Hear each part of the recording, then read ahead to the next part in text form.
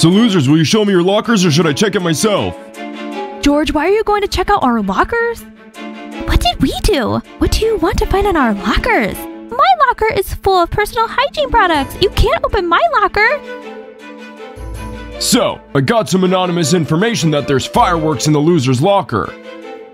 What? It's a lie! Yes, we have no fireworks. Great, so show me your lockers or I'll go check it.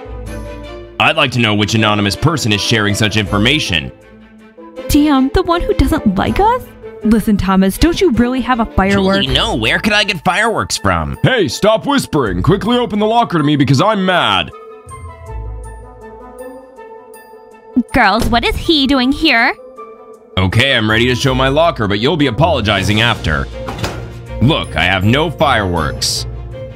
Good job, Browse. Good job. Next is Thomas. I won't open.